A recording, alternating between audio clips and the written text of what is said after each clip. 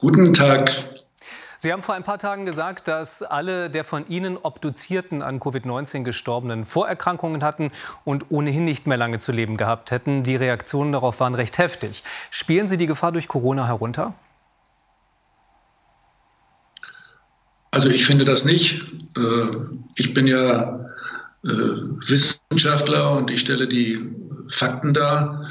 Natürlich ziehe ich auch einige Schlussfolgerungen. Die Fakten sind so, dass wir bei uns hier in Hamburg bisher über 100 Corona-Tote sorgfältig untersucht haben.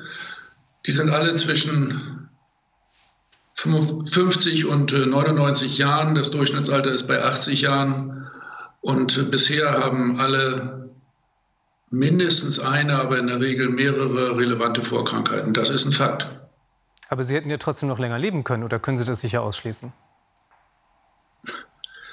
Äh, ich bin nicht allwissend und weiß nicht, wie lange Menschen auch mit schweren Krankheiten leben. Das ist völlig richtig. Äh, ich kann aber sagen, dass viele von denen, die wir untersucht haben, tatsächlich in einem so moribunden Zustand waren, dass die Lebenserwartung eingeschränkt war. Damit will ich äh, überhaupt nicht in Abrede stellen, dass wir auch bei denen natürlich uns medizinisch sehr viel Mühe geben, um ihre Krankheit zu behandeln und das Leben zu verlängern, soweit das möglich ist. Das eine sind ja also die Todesfälle, die Zahl der Todesfälle, das andere aber ja die Gefahr einer Überlastung der Gesundheitssysteme. Die scheint ja doch reell, wenn man sich die Bilder aus Spanien, Italien oder New York ansieht, oder? Ehrlich gesagt, äh, gestatten Sie mir die Rückfrage, warum gucken alle nach Italien, Spanien und New York und warum gucken Sie hier nicht nach Deutschland, zum Beispiel hier in Hamburg? Wir haben in Hamburg sehr viele freie Intensivbetten. Die äh, Behandlung äh, ist in allen äh, Krankenhäusern völlig unbeschränkt möglich.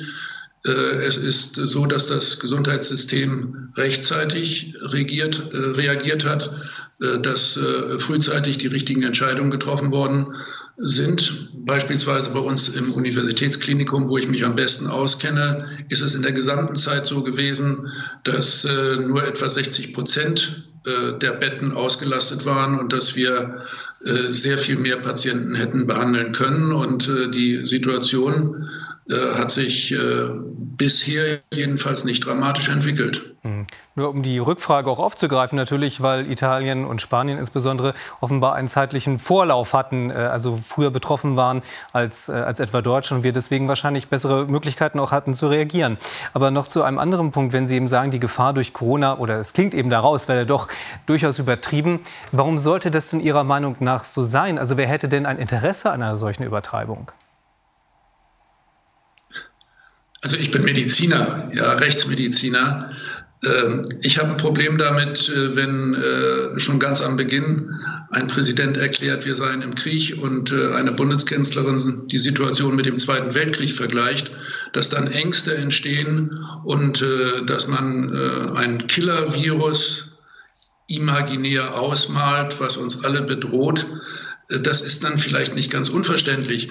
Also ich plädiere ja für eine äh, realistische Herangehensweise. Das ist eine äh, Viruserkrankung, die wir bisher nicht kennen und äh, die äh, auf einmal als Pandemie auf uns jetzt zukommt. Aber auf der anderen Seite haben wir ein gut funktionierendes Gesundheitssystem.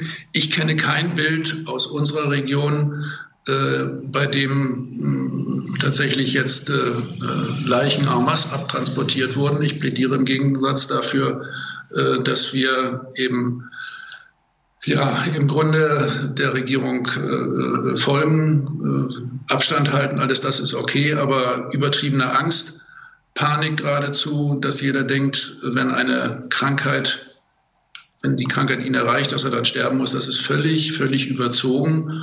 Und ähm, wir können mit dieser Virusinfektion fertig werden. Das Problem ist nicht anders gelagert als bei anderen Viruserkrankungen, abgesehen davon, dass sie sich pandemisch ausbreitet, jetzt mhm. als neue Erkrankung. Ja. Gucken wir noch einmal zum Ende hin auch auf die Rolle des Robert-Koch-Instituts, das ja sehr viele Daten und Einschätzungen liefert, die auch für die Politik als Grundlage dienen. Wie schätzen Sie denn diese Expertise ein? Das ist völlig in Ordnung. Es ist ein äh, Widerspruch äh, künstlich herbeigeredet worden. Ich akzeptiere äh, die äh, führende Rolle des Robert Koch Instituts. Ich plädiere bloß dafür, dass wir tatsächlich bei den negativen Verläufen, also speziell bei den Todesfällen, äh, genau hinschauen, dass äh, wir äh, versuchen, aus diesen negativen Verläufen zu lernen, die Krankheit besser zu verstehen. Das ist ja mein Anliegen, die sogenannte Pathogenese verstehen, auch die stattgehabte Therapie kontrollieren. Der Goldstandard für die Erforschung einer solchen Krankheit ist eben die Untersuchung der negativen Abläufe der Toten. Und von den Toten lernen wir für die Lebenden. Das ist kein leerer Spruch.